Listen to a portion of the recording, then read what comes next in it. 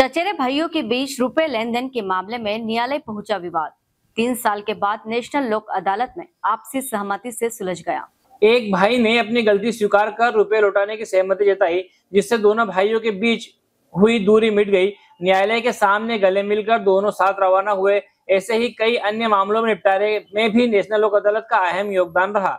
न्यायालय परिसर में सात खंडपीठों पर नेशनल लोक अदालत का आयोजन हुआ। सीजेएम पदमा राजोरा तिवारी ने न्यायालय में दिलीप पिता रामेश्वर अकाउलिया ने अपने चचेरे भाई महेंद्र बद्रीलाल को व्यापार व्यवसाय शुरू करने के लिए 2020 में दिए गए एक लाख रुपए नहीं लौटाने पर प्रकरण दर्ज कराया था। सीजेएम और अभिभाषकों की मध्यस्थता के बाद महेंद्र ने एक लाख न्यायालय के समक्ष लौटा दिए हैं, जिसके बाद प्रकरण का निराकरण हो गया। Bureau report, Khargone. में, बजाज ने आईसीआईसीआई ने एसबीआई ने और टाटा ने कुल मिलाकर के संपूर्ण ज़िले में मेरे ज़रिए करीब एक करोड़ का अवार्ड संतुष्टि में दिया है। और लगभग लगभग जो है ये राशि 45 दिनों के अंदर क्लेमेंट जितने भी हैं सबको अलग अलग प्रकरणों में मिलेंगी। और इस प्रकार से मेरे कुल बीस मामले निपटे हैं जो अलग अलग कंपनियों के थे। और नेशनल लोक अदालत के बात कर लो पूरी। ने, अरे नेशनल लोक अदालत में दिलीप और महेंद्र के बीच 138 का लेन देन का मामला विचाराधीन था। और दोनों भाई दोनों आपस में रिश्ते में भाई भाई हैं लेकिन अ, कुछ गलतफहमी की वजह से इन्होंने पैसे नहीं दे पाए थे और आपस में लोक अदालत में देने से इनको ये लाभ हुआ है कि न्यायालय में जो खर्चा लगा था वो इनको वापस मिलेगा और इनके आपसी संबंध अच्छे बने रहे। के एन राठौर एडवोकेट आवेदन। पैसों का मामला था। एक लाख रुपए वो उसको मैंने दिए थे। फर्नीचर के लिए चाहिए थे उसको। फर्नीचर के लिए पैसे चाहिए थे, उसको मैंने दे दिए। महन पिता बद्री बद्रीलाल वो पंधाना का है।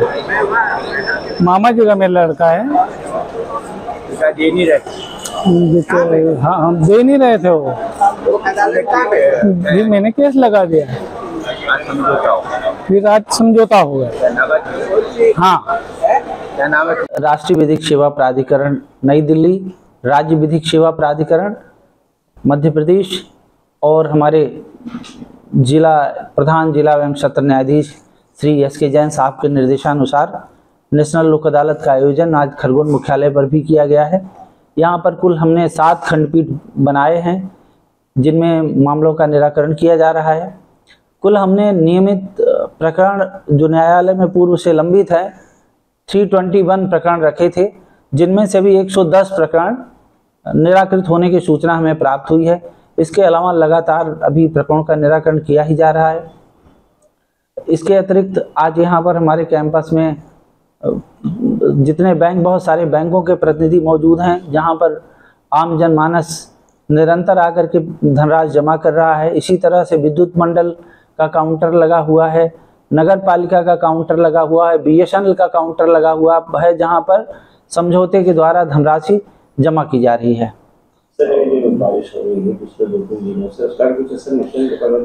का हाँ कुछ प्रभाव पड़ सकता है उसका क्योंकि दूर सुदूर क्षेत्रों से जो पक्षकार आते हैं बारिश के कारण ऐसा हो सकता है कि वो आने से बचें।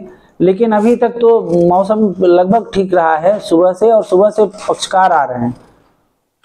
नियमित आ रहे हैं। अभी तक 320 प्री लिटिगेशन प्रकरणों का भी निराकरण हो चुका है। धन्यवाद।